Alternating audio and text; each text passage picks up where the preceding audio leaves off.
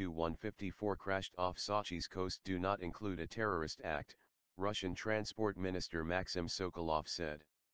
According to Sokolov, a technical problem or piloting error could have led to the disaster.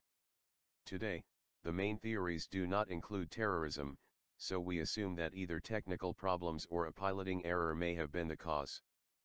But I stress that only an investigation, along with a special technical Ministry of Defense committee will tell us for sure,